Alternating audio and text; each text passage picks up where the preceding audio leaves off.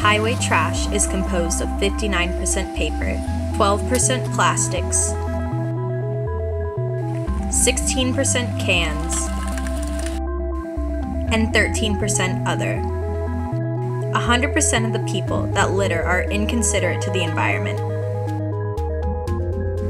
Your litter says a lot about you.